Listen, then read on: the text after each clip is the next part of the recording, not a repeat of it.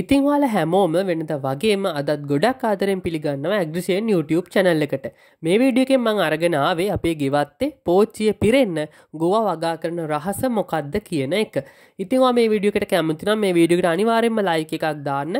මෙමගේ වැදගත් වීඩියෝ දිගටම බලන්න මගේ චැනලක සබස්ක්‍රයිබ් කරල එකතු වෙලා ඉන්න. ඉතින් මේ තියෙන ම අරගෙනාපු ගොව පැලටික ම හදපුවන නෙවේ මමන් කඩින් මිලදී ගත්තේ. මේ ටික මම දැන් කියලා දෙන්නම් සාර්ථකව ගෙවත්තේ වගා කරගන්නේ කොහොමද කියලා. පස් මිශ්‍රණය සඳහා මතුපිට පස් වලට අපි කොම්පොස්ට් පොහොර එහෙම නැත්තං ගොම පොහොර ටිකක් එකතු කරලා බොහොම සැහැල්ලු පස්මාධ්‍යයක් හදාගන්න ඕන. මඩ ගොඩේ අපිට ගෝව හිටවන්න බැහැ. වතුර හොඳට බැහැල යන සැහැල්ලු මාධ්‍යයක් මේ විදියට හදාගන්න ඕන. මං මුලින්ම කියල දෙන්නම් පෝච්චිය හිටවන හැටි ඊළඟට අපි බලමු පැකට් එක කොහොමද හිටවන්න කියලා. මේ පෝච්චේම මෙලදිගත රුපියල් දෙසීයක් වගේ ආසන්න මුදලකට අපි මුලින්ම කරන්න මේක මේ තියෙන ජලවහන සිදුරුටික වැහෙනි නැතිවෙන්න මැටල් ගල්. මං මෙතන පාවිච්ච කලති නිකම් පොළවෙ තියෙන විශාල ගල් කැට උළු කැට ගඩොල් කැට වගේ දෙයක් මේ විදිහට සිදුරු ටික වැහෙන් නැතිවින්න අපි දාගන්න ඕන. එතකොට තමයි අපි මේකට දාන වැඩි වතුර ටික මේකින් පහසුවෙන් අයින් වෙලා යන්නේ. අන්න ඊළඟට මම කරන්න දිරාගෙන යන ගහස්වලින් එකන ගස්වලින් වැටල දිරාගෙන යන අම්බකොල කොස්කොල වගේ පොඩි තට්ටුවක් මේක උඩින් දානවා. එතකොටත් තවත් මේක වතුර බැහලයන පහසුයි වගේම මේටික දිරලා යනකොට අපේ ගෝව පැලේට හොඳ පෝෂණයක් මේ ගොල්ලොන්ගෙන් සැපේනවා. මේ තට්ටුව දැම්මට පස්සේ අපි කරන්න පෙර හදාගත්ත පස්මිස්ට්‍රණය මේ විදිහට දානවා. හොඳට බලන්න මම මේ පෝච්චිය පුරවන උස.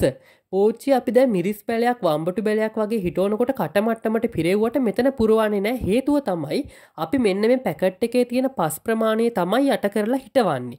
මේ ගෝවගහේ කොලෙන් කොලේ හැදෙනකොට ගෝව ගහ ටික ටික උස යනවර යට කොලේ සෞත්තු වෙනකොට ගහේ කඳ ඉතුරු වෙනවා. ඒ කඳට බිම හිටවුවනම් ගෝව පැලට පස් එකතු කරන්න පුළුවන්. අපිට පෝච්චිය පස් එකතු කරන්න බැරි නිසා තමයි මෙහෙම ඉඩ තියලා තියන්නේ. මෙන්න මෙවිදිර පැලේ ගලවනකොට මං කියල දෙන්නම්. පැකට් එක කපන්නේ නැතුව පැකට් එකෙන් තව ප්‍රයෝජනයක් ගන්න පුළුවන් අපිට. පැලේ මැදට මේ පෙන්න්නපු විදිට ඇගිලි දෙක තියලා අනිත් පැත්ත හරවලා පහසුවෙන් මේක ගලවගෙන මේ විදිහට හිටව ගන්න පුළුවන්. හොඳට බලන පෝච්චියෙන් භාගිකටත් අඩුවෙන් තමයි පස් දාලා තියෙන්නේ. මේ ගහ ටිකෙන්ටික උඩට එනකොට තමයි අපි පස් දාන්නේ. ඊළඟට මං කියලා දෙන්නම් පැකට් එක මේක හිටවන්නේ කොහොමද කියලා. අපි ගත්ත පැකට් එකට තර විදිහටම තිරපු කොළරඩු තට්ටුවක් දානවා. අපි මේකට ගල් එකතු කරන්න මොකද මේක උස්සද්ද ඉරෙන්න්න පුළුවන් වගේ මේක ජලවහන් සිදුරු පැකට්වල වටේත් ඒගොල්ල හදලා දීලා තීරවන අපිට. එක නිසා ගල්ල එකතු කරන්න ඕන්න කොළඩු තට්ටුවක් දාලා අර විදිරම හදාගත්ත පස් මිශ්‍රණය දාන දැන් අපි පෝච්චිය නම් පණ තියෙන පණ තියෙනවන පෝච්චියට කෙලින් හිටින්න. එතකොට අපි ඉඩක් ඉතුරු කලා කියලා එක වැනෙන්න කරන්නේ නෑ දැන් අපි පැකට් එකේ බාගට පස් පිරෙව්වම පැකට් එක වැනෙනවා. අන්න ඒ නිසා අපි කරන්න අර ප්‍රමාණය ගන්න පැකට් එක මෙන්න මේ විදිර නම්මනවා. අපේ ගොවක් ගහ වැඩිලා ටික ටික උස යනකොට තමයි අප පැකට් එක මේ උස්සලා උස්සලා පස් එකතු කරන්න. අපි බිහිට වනම් කිසි ප්‍රශ්නයක් නෑ අපිට පස් ගහට එකතු කරන්න පුලන් පෝච්චය එහෙම දෙයක් කරන්න බැරි නිසා තමයි මම මේ ක්‍රමය කියලා දුන්නේ. මෙන්න මේ විදිට ගහ මැදෙන් ඇඟඩි දෙක තියලක් පැකට්ටක කපන්න නැතිව පැළේ ගලවගෙන හිටව ගන්න තමයි තියෙන්නේ. මෙන්න මේ විදිර හිතවගත්තර පස්සේ ගහ උසයනකොට ම ටිකෙන්ටික පස්ස එකතු කරලා තිනවා දැ මේ තින දවස් පහලවකට පස්සේ මේක දවස් හතලිස් පහ පණහ වගේ යනකොට ගෙඩිය හැදෙන්න්න පටන්ගන්නවා මේ එන කොල එකතු වෙලා.